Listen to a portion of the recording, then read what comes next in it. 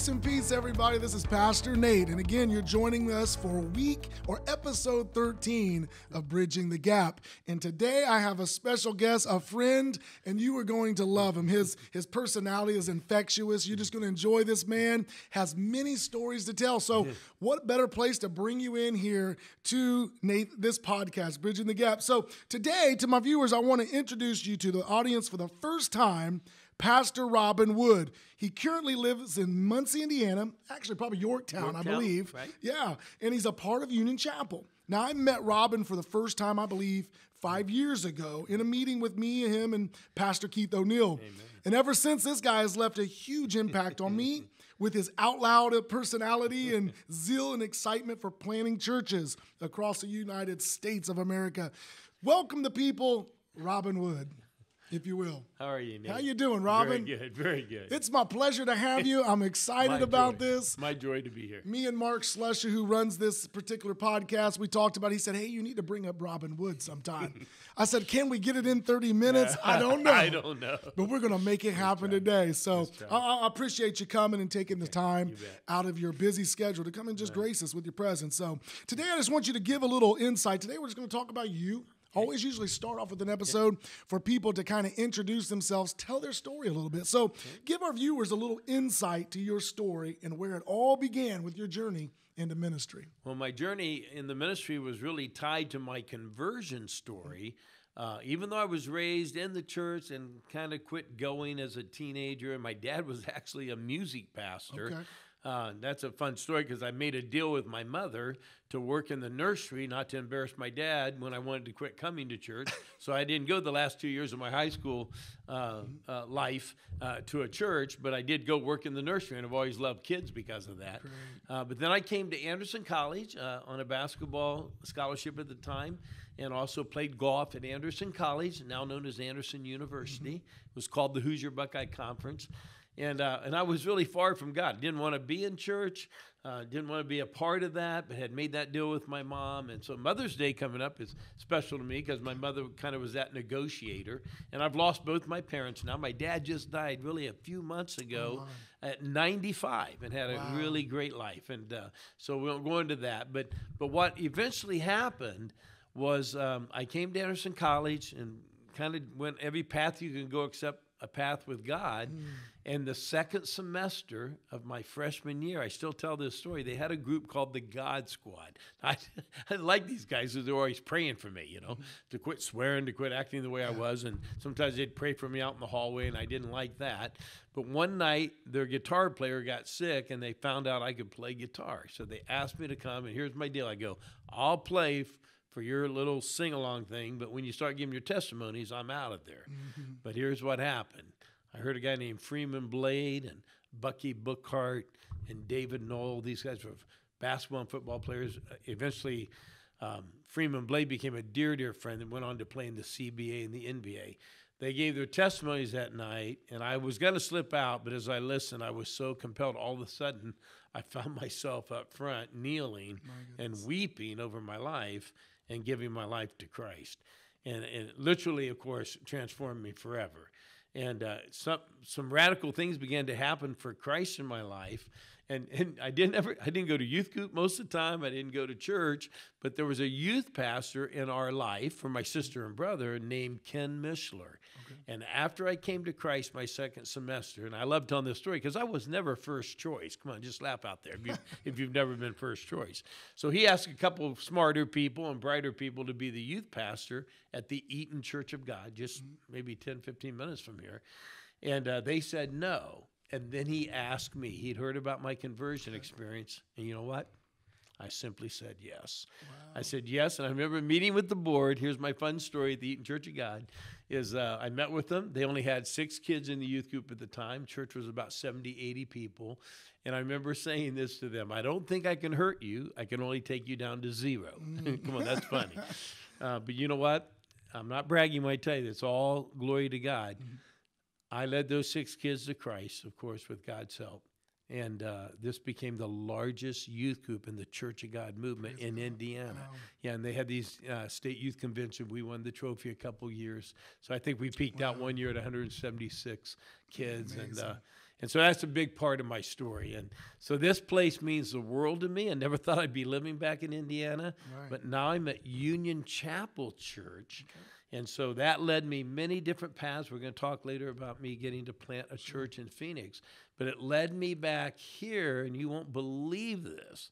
But one of those six kids that I led to Christ was a cheerleader, and I met her when I was 56 years old, and we got married when I was 60. Oh, Lord. and so it's a What Are the Odds? I wrote a book What Are called the What Are the Odds? What Are the Odds story that this could ever happen. And I'll tell a little more later today about uh, Mark, who is filming this. He was one year old when I became the youth pastor. Wow. And on a bus route, uh, I invited his family to come to church, and they literally changed my life. His mom and dad, I love them so much. And uh, we've lost them now, Yeah. but they're in heaven. I mean, Yes, and we lost his dad this year. But here's the great news think of simple beginnings. Say yes. If God asks you to do something, if someone asks you to do something in ministry, I simply said yes, and God, God has done the rest. Praise God. Well, that being said, you, you was mentioning you were at Anderson Anderson College at the time. At the time. A basketball standout and a golf.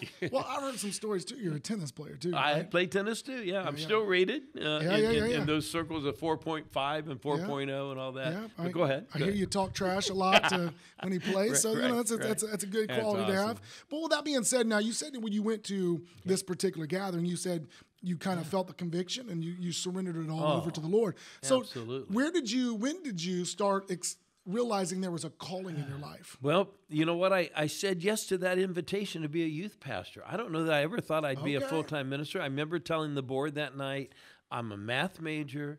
I would love to teach school and be a basketball coach. That's what I mm-hmm. wanted to do, and even on the college level.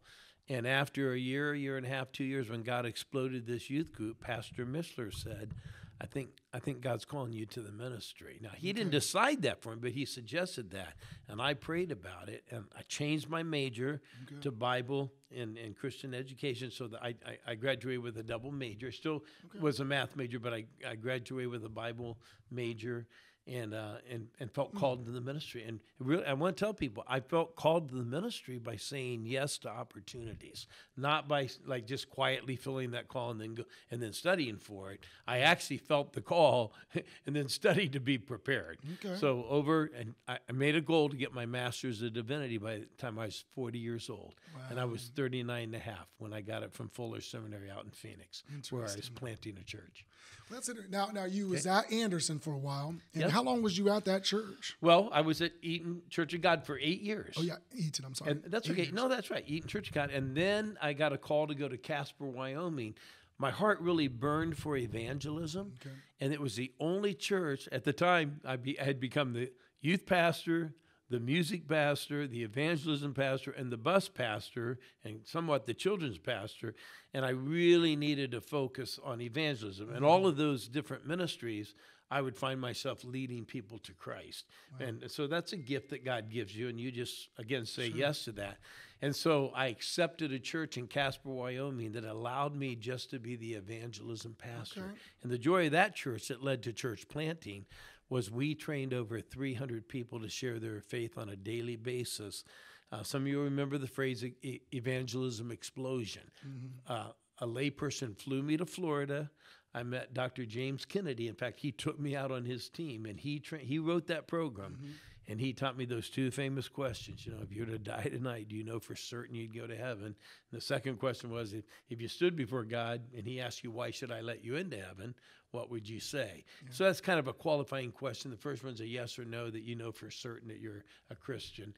And uh, let me tell you something. Those two questions I trained over 300 people in five other churches, and we became a clinic base in Casper. They'd never had one out on the West Coast. They'd never had anything in the Rocky Mountain area, and we became a clinic-based church and trained over 100 churches, and uh, and that that that formed my life. That led someone to ask me to plant a church because of this passion for evangelism. Well, speaking speaking about planting churches, somebody may be watching right now saying, "Well, I've heard of church plants, I've heard of the statement." And Right. So, so some of us are sitting here wondering, what what is that all about?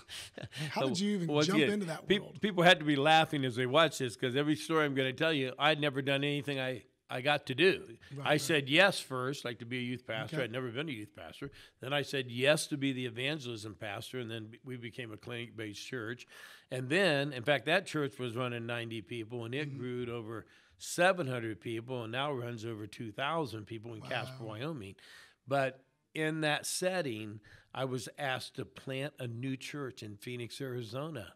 And once again, Nate, I said yes. I said, I'll pray about it. And then they interviewed me and knew nothing about it. In fact, when I planted a church, there was only one conference in the Midwest that I went to over on the campus of Anderson College. There were over 800 people there that day. And out of that group, I, I was the one that said, Yes, I'll go plant in Phoenix. And uh, so it's, it's an amazing story. I don't know when you want me to tell that particular story, but we started, I cast the vision to 90 church people. Mm-hmm. So I'm going to make you church people laugh. I thought I had some influence, and don't mm-hmm. worry, only six said yes. so I had no charisma at all. Mm-hmm. I shared the past. Could we start in a school? We had no money, no people, no building. And so in 1987, I cast that vision on July 1 over a period of six weeks. And then we ran across a man who had written a program called The Phones for You. Mm-hmm. And these six people, along with a few helpers, made 23,000 phone calls to invite people to come to the first day of service. I'll never forget it, October 18th, 1987. 305 people walked into Pueblo Middle School. You know the joke. If you can start a church at a school with the initials PMS, you know God's in it. Come on, that's funny.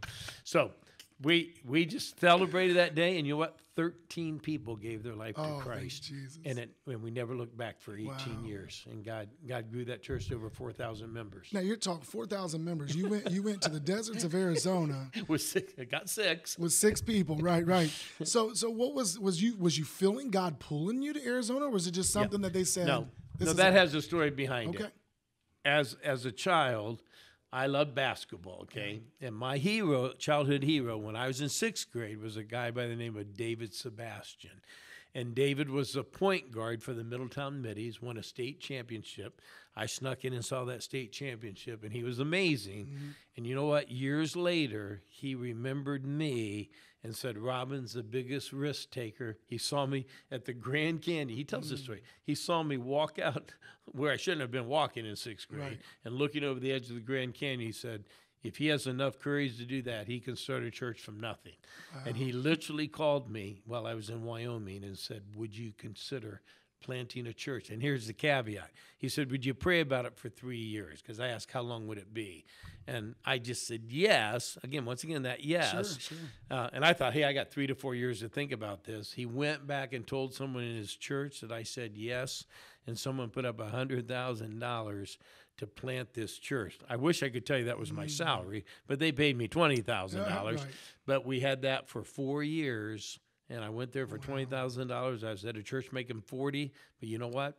I saw uh, Phoenix was the tenth largest city in the United States at that time, Mm-hmm. and it became now the fifth largest city in the United States of over five million people. So I went there, and uh, with God's help again, we we found some strategies. We made those phone calls. And, and God did a you know God did amazing things. That's what you always have to say. I, I know he, he he's grateful that we say yes, but I mean, God does amazing miracles. Man, yeah, man. Well, you know, you've you've experienced a lot just through college and through and then through your journeys. I like your your your the way of doing things. I say yes first. That's kind then- of it's been my story. Man, I I mean, that's a lot of people can't say yes to to saying, "Hey, can you preach next week?" You know, because I don't know. Let me pray about it. You know, so the fact that you're you're a yes sir, I'll do it, and then God will. That's kind that's been my story, and I hope that I hope that touches some people because I think many people have opportunities and they say I'm not prepared or I don't have the education yet. Well, you can Mm. get that, That's good. but if God moves in your heart, say yes. You know, which brings me up to why I'm preaching this week on Mother's Day because a week ago, Pastor said, "Hey, I preached 40 in a row. Would you do it?" And I said, "Yes. Come on, that's fine." So I preach next week by just saying yes. deal. Okay. Good deal. There's a plug for you. So uh, on Mother's Day, uh, be at Union Chapel to hear Pastor Robin Wood deliver the good. Well, well, well that being said, all the things that you've seen and witnessed, I mean, there's so many. You said you're 67, is that correct? 67. So you've witnessed many things throughout your 40 years plus of ministry. Uh, so give us an idea. What, what are some of the greatest memories that you have seen or witnessed? Just give us a little bit of testimony. Well, this is a special day. I'm going to look down this way at the guy filming us. I I was given the job of being a bus minister. I was really the youth pastor.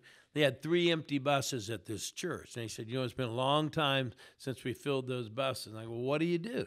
They go, We would like you to go to the neighborhoods around the church here in Eaton, Indiana, knock on doors, meet families. If they have kids, tell them we'll pick them up for Sunday. And, you know, in, in those days, people might remember the name Jack Hyles. He was up uh, near Chicago, I think Hammond, Indiana and uh, he had like a hundred buses or something. And people used to joke about it. he'd pick people up in three different states. You know? but uh, you know what? I I listened to one of those uh, um, stories about Hammond, Indiana. And I, and I, I know you're gonna laugh. I said yes. Mm-hmm. So the reason it's so special to me, you want to know the miracle? I knocked on doors, and I met the Slusher family. And you know what? I, I, was young playing college basketball. You know, I don't look in shape now, but was playing ball then, and they had a swimming pool. Mm-hmm. And so I'd go to their house. You know what? They invite me in for lunch, and they, and I'd say, "Hey, can I jump in?" No one told me I couldn't go barefoot and cut off jeans and invite kids to church. And I remember jumping in that pool. I can picture it in your backyard, Mark. I remember jumping in that pool. He would have been one or two years old when mm-hmm. I did that. And Cindy was his sister. She was probably eight or 9 mm-hmm. Eventually, she was in the youth group. I stayed eight years as a okay. youth pastor there and the bus pastor. And so we filled those three buses. You could put about 50 on a bus. And we had this children's ministry called uh, Junior Church. And uh, people like Kathy Green were amazing. She still lives in this area and goes to Union Chapel. Okay. So that's been her and Tom. And so we still talk about that. The special kids like Mark and Cindy came, and his mom and dad gave their life to Christ. First, his yeah. mom, his dad was kind of far from God like me, so I related to that. Mm-hmm. And then he came to Christ, and then these kids came to Christ. And lo and behold, what are the odds I would meet that cheerleader that I met when I was 19? She was 12. And then I met her again at 56, and, and we got married. And she found Union Chapel. But here's the good story there the week before I left Eaton, Indiana at age 28 to move to Casper, Wyoming, I went to a unity service. So here's a miracle. And I met Pastor Greg Paris. He was only 27 years old. I was 28. And I met him one time. Think of this one time, one time at age 28, and didn't meet him again until I was on the back row mm. of a Christmas Eve service when I was 60 years old and just got married. And I went there because of my wife had found that church. And he walked to that back row. He told me he never walks the crowd. That's not how he's mm-hmm. wired, like me. And he saw me and called me by name and asked me to meet him at Red Lobster the first week in January wow. after that Christmas Eve service. And then he asked me, would I help him plant 10 churches? Wow. And I and I and I said yes. said yes. and now we're we I think we planted like 13 and wow. seven house churches in Kazakhstan. So altogether, God's done an amazing thing. I've been involved in about 89 church plants and about eight house churches uh, in, in in the Soviet Union. Wow. And so it's been an amazing story from Belarus to Kazakhstan. It's just been amazing. Yeah. You think about it, the journey that we go through in our life, it's we can't take things for granted. People you right. run into will come back and they'll eventually be that blessing to you. Wow. And it's just amazing to see how your story with Greg, Pastor Greg, and, and how it's, it's, unbelievable. came full circle again. When people don't believe in miracles, right. I, and, and I can tell you bigger miracles, but that's huge. Yeah. What, what are the odds that he'd walked that congregation that night. Look, I wasn't applying for a job. I was working for Feed the Children yeah. in Oklahoma City. In fact, wow. our first year of marriage, because I had a job in Oklahoma. we lived apart. So I mm-hmm. was only home for that Christmas Eve service. Oh wow! So if he doesn't walk that that service that night, I didn't go there on a week to week basis. I went back to Oklahoma City to work for Feed the Children. So and wow. and, and think of Mark now coming into yeah. my life, and he brings me back into his life. And that's why I know you. Because exactly. he invites me to Destiny. Yeah. And I come and love Bishop. You know, Bishop O'Neill's amazing and and and Bishop was a worship leader for Pastor Greg Paris. So you you see the orchestration of God through relationships, yeah. and and that's my life story. Is just yeah. people have changed my life. That's so awesome. what a privilege today to be with Mark, and and to know That's h- what a great leader he Yeah, is yeah, at right. uh, at Destiny. when we think through life and in general, I mean, I think about the situation here you mentioned with Mark. Mark's always shared that story with me because we have our little lunch group on Tuesdays, and he'd always tell me about the Robin Wood story. And you think about it though, if if there was no Robin Wood that was willing to say yes. Then Mark Slusher would not be at a Destiny Christian Center that we know of, Yeah, or his or his family would have never introduced him to Christ at a young man's age. So I think about this, and maybe that's the word for today, whoever's watching. Maybe you've been contemplating watching this and saying, man, you know, I- I'll do it maybe tomorrow, or I might do this. But I feel like God is just saying right now, just to say yes. Say yes to what he's calling you to do because God's got a mighty plan for somebody that's watching. I just feel that, and that's that's that's inspiring to hear. Thank I know you. I know you're a doer, and know, uh, we talk about personality assessments I over know, the you years. know I and, do that. and I know that the ENFJs we get you get things done. we do it, and it, we don't we don't push away. So I want to ask you a question. Now you mentioned about church planting, and we're, we're gonna sh- this will be my last question for you. And uh, but you've talked about church planting, churches, what you do for Union Chapel, and help them launch, and other things in your ministry as well. But uh, where do you see yourself in this ministry, or where do you see Robin Wood in the next five years? Well, I tell you, the, the greatest privilege of my life uh, was doing something again that I didn't know how to do it, but I also saw it as the greatest chance. Uh, when I understood what church planting was, it's like starting without church people, actually. In fact, we're doing that more and more without any Christians on our core team. Going to an area, gathering people that have an openness to God. If you read the book of Acts, one of my favorite phrases is the Apostle Paul would find God-fearers. That just meant they loved God. Remember, you talked about the Bereans. They would search the scriptures daily to mm-hmm. see if they were true, but they weren't followers of Christ yet. Mm-hmm. So he would find God fearing people. Like, and, and, and I consider Martha and Fred, Mark's parents. They had a respect for God and a love for mm-hmm. God. yeah, yeah. And then we get to share the gospel in the greatest way. It's been declared through each, other than one on one to lead someone to Jesus. Listen to me. Planting a church is the number way, number one way to reach people that are God-fearers mm-hmm. and that have not yet heard the whole message of Jesus and his life and death and resurrection on the cross. So I moved into that and it became the, the greatest launching pad. And so now I get to find, now at my age, I get to find young, and you know I believe in you Sure, to sure you plant do, a yeah. church someday, mm-hmm. is God's given me an assessment tool to find people that have these characteristics to reach God fearing people and to plant new churches. And so, and you know, I've been able to do 89 now. 89. And and I've learned that in the places where we're not allowed to have churches, like Belarus and Kazakhstan, the fire is even more ignited. Mm. Wow. So the house churches can multiply and, and you don't get caught up in building a building. You don't get caught up in all the, you know, in the United States, we still have these big finances, how much it costs to get land. Or mm-hmm. Eventually, even if you raise up a new church and a school, like I've done probably now 89 times, you finally have to build a building once you have a church. Mm-hmm. In other countries where, where that is not allowed, now we get to focus totally on people and just simply share the message.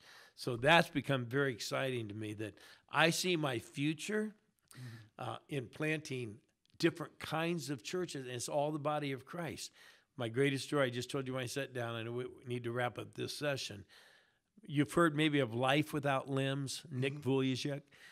Listen, this man's amazing. I met him a year and a half ago. He just brought me full time on his staff to plant churches in prisons. He's been in 225 prisons in the last three years.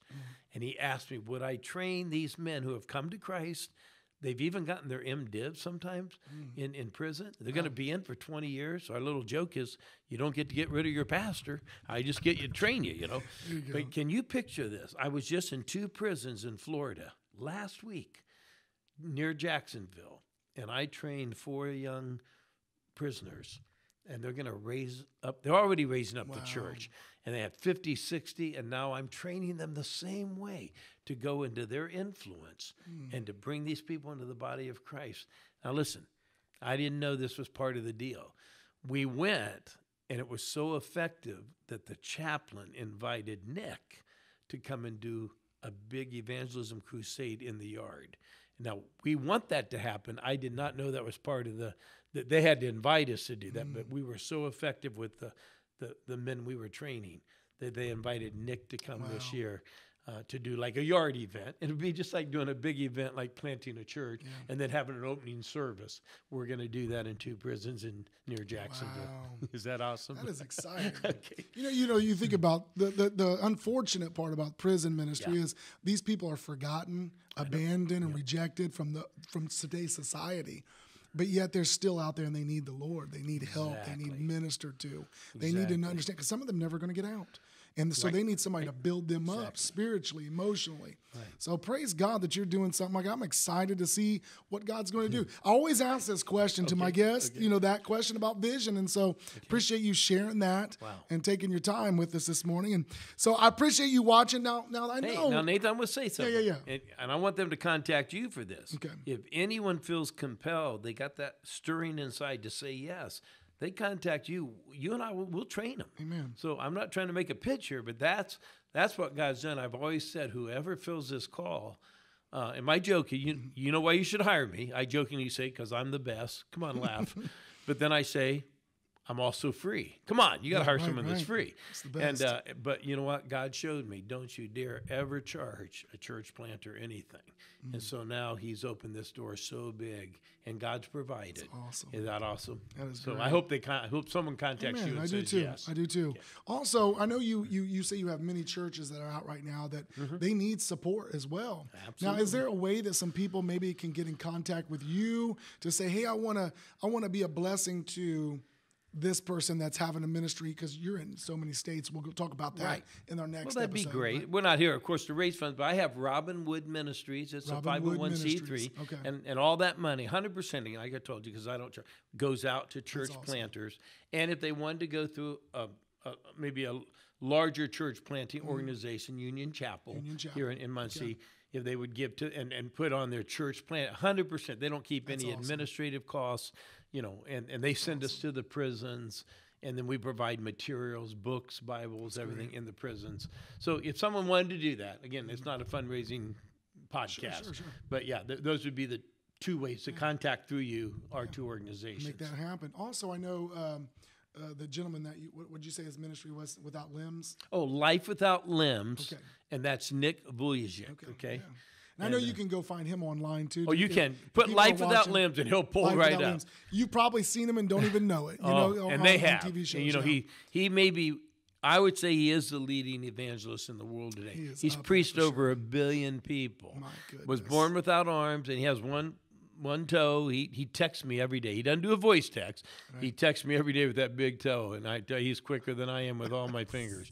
And Nick, I say, Nick, you amaze me. And listen, Uh, I have one phrase I always use. I feel this about you and Mark. You're the real deal. Mm-hmm. I say about Nick. Nick Nick's no fanfare, even with all that he's been through, and, and he's and he's a big, big person out there for God. But listen, he's the real deal. He only wants people to come to Jesus. And his newest vision is to train a million Oh, Christians to share their faith. That's a awesome. million. Well, hey, I hope you enjoyed this week's episode of Bridging the Gap. I know I enjoyed it just listening to his testimony. Stay tuned next week, and I'll have my guest speaker again, Robin. We're going to talk about the state of the church as we go forward. So, good day, God bless, as we go bridge the gap.